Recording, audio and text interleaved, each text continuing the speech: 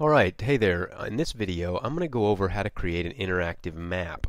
Uh, this is something I used for a project and it took me a little while to figure out. So uh, I've got this map here on this website where if you scroll over different states you get a pop-up feature with uh, with some interactivity and there's a lot you can do with this. Um, in, in this example I'm going to create this interactive map uh, using Flash Catalyst Adobe Illustrator and then I'm going to upload it to a Joomla website so uh, hopefully you'll be able to uh, to take some of the uh, uh, information I've got here and be able to do this for yourself now the first thing we're going to need is to get a vector map uh, that I googled and found here on this website and I can simply download it by going to the website and clicking here and there's a nice vector because it's already in a uh, Illustrator format so I can just work with what we've got and make any kind of tweaks I can rather than try to recreate the map from scratch. So I'm going to download that. Okay, now I'm going to uh, come to my downloads and I'm going to open up this map in Adobe Illustrator. And while that's uh, opening up, I'm going to talk a little bit about the workflow here. What we're going to do is we're going to get our vector map and we're going to make changes to it so, so that we've got the document uh, or the graphic the way that we want it to and then we're going to import it into Flash Catalyst. Flash Catalyst is going to interpret all of the layers exactly the way they need to be and we're going to start creating buttons out of the states and give those buttons some interactivity. So we're going from uh, from the graphic to Adobe Illustrator and then to Flash Catalyst to refine. Once we get that all done, we're going to export it into an SWF file. We're going to upload that file onto a Joomla website.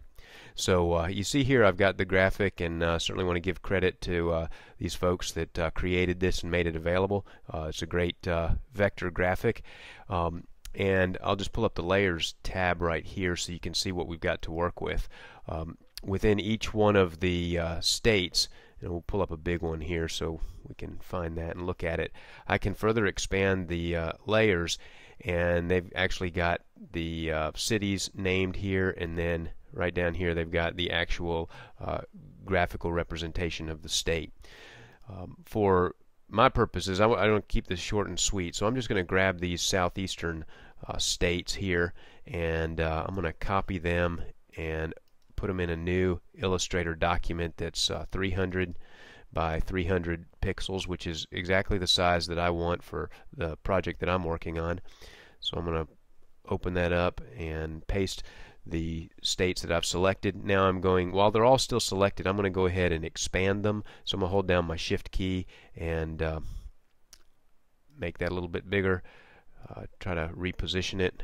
Oh, there we go reposition that over here a little bit and uh, continue to fill up my space on the artboard. Now, if you don't, uh, if you haven't worked in Illustrator a lot, uh, this white area that I have here is the artboard, and I can change the size of my artboard by clicking on the artboard and uh, moving that around here, here, however I want to do that. But um, I've got it the size I want, so we're going to sit tight. Now I can look at my layers and uh, for the purposes of this video I don't want to add any interactivity to the different state names and city names so I'm going to expand my layers and I'm just going to turn these city and state names off but leave the state graphics completely visible so I'll just scroll through here and uh, turn these guys off okay so now I'm going to close out my layers tab and I've just got these different states that I can work with.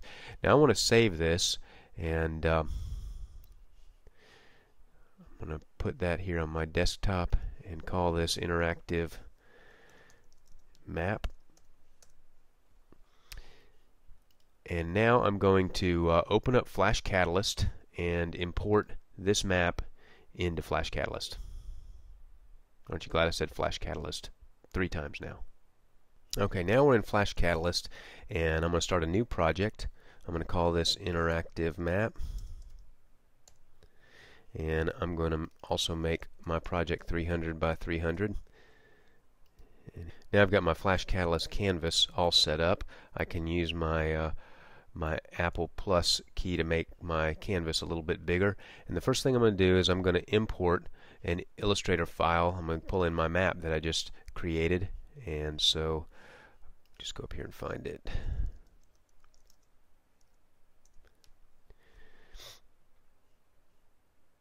Okay, there it is. Open that up. And Flash Catalyst is going to actually import my map along with all of the layers that uh, I have. So it's going to make turning these layers into buttons very very easy for me. So I'm just going to keep all of the standard options. Select OK. And now in my canvas I've got all of the layers. Now I can come over here to uh, my layers tab and I can see what I've got to work with right here. So uh, at this point I'm going to uh, stretch out my canvas first a little bit so I can see what I got to work with here. And uh, the next step I, that I want to do is I want to turn each one of the states into buttons so I can add some interactivity. So I'll start right here and uh, convert this artwork to a button. And once I do that, I'm going to look at my uh, button states, uh, either the up, over, down, or disabled. And I'm most interested in my over right here because um, here's where I can set the mouse scroll over effect. So I'm going to pick my uh, my button and I'm going to go into back into Illustrator to edit that button. Okay, in Illustrator, now I want to add an effect and uh, I kind of like that drop shadow effect so I'm going to come down here to stylize I'm going to add a drop shadow effect preview that and that's exactly what I want for the rollover state of that button. So I'm going to go ahead and close out of that. I'm going to save it. Use all the default options. And now in Flash Catalyst you can see that my over option is the drop shadow effect but if I click completely out of that back to my um, my map then you can see that the normal state where I don't have a mouse over it is going to be exactly the way that uh, that the map was originally. So now I'm just going to go into each one of my other uh, states and I'm going to convert them to buttons. Then I'm going to select the over state.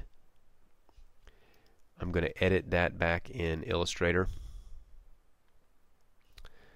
Select that, add my drop shadow, and do this for each one of the southeastern states.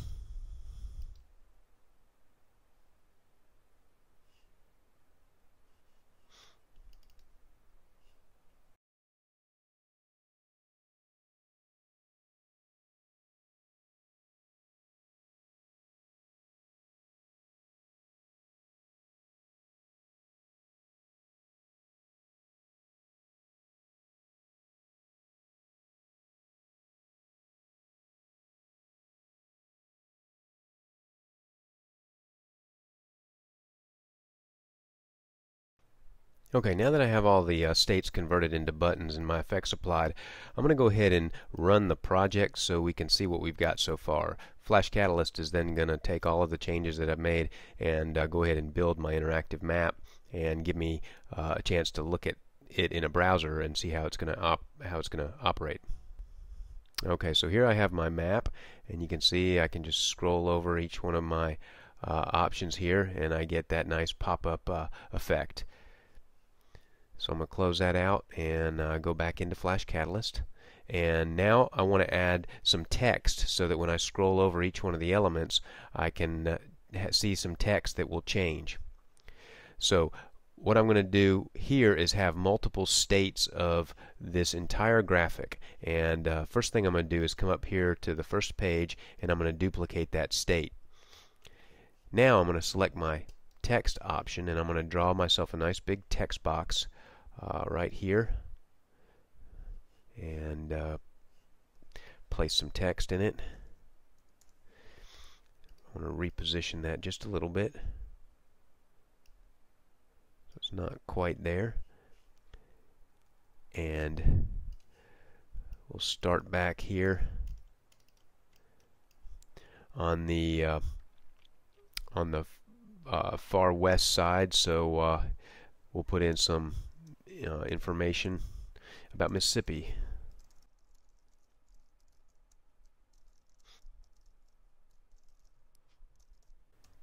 Okay. So now I've got uh, this page. I'm going to change its name to Mississippi. If I can spell it right. Okay, so I know that this is the Mississippi state. And uh, now I want to start creating these duplicate states for each one of my other uh, geographical states.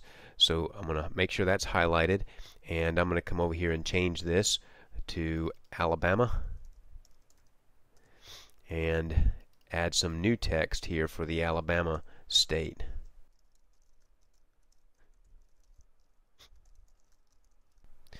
Alright, and now I can do this for each one of my other geographical states.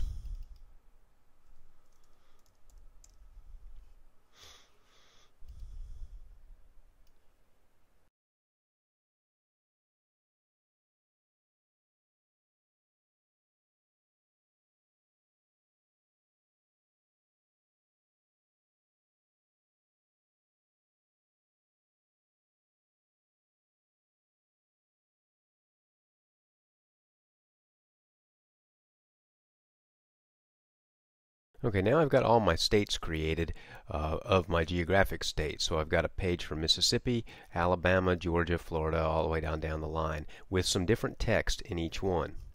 And now what I want to do is make it such that when I mouse over one of these buttons, then the that transitions to the appropriate state where I have the text for that uh, geographic state. So for example, we're going to go ahead and select the uh, state of Mississippi. And over here in my interactions, I want to set this so that when the mouse rolls over, we transition to the Mississippi page. Okay, and we're going to leave it when in any state, so that way on any one of my geographic state pages, when I mouse over Mississippi, it transitions to the Mississippi page or Mississippi state, this one right here. So I'm going to select OK. Now, what's going to happen is when I transition onto that, it's going to stay that way. And so I want to tell Flash Catalyst that when I mouse off of that state, then I'm going to go back to the page 1 where there's no text visible. So I'm going to add an additional interaction, and I'm going to put on roll out, and I'm going to choose state page 1. Select OK, and now I'm set so that when I mouse over this, immediately state Mississippi is going to come up with my text. And so I will then click on all the other buttons and add my interactions.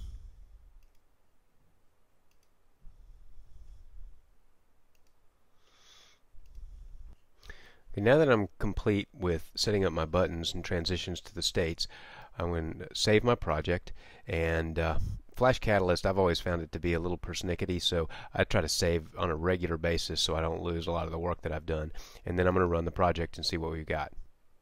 Again, we're going to build the interactive map, pull it up in a browser, and I'll be able to simulate what it's going to look like on the internet.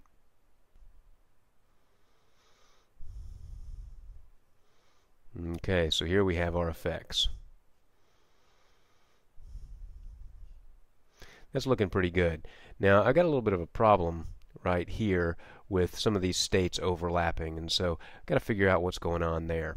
Let me jump back into Flash Catalyst and I think it has to do with the position of the layers. Okay, now I've got my states repositioned so that uh, I get about the best effect that I'm going to get. So I'm going to run my project, double check that. Okay, and there we go. The only one I still have a little trouble with South Carolina, but I think that's as good as I'm going to get using this drop shadow effect. So now we've got our interactive flash map created. We're going to save this.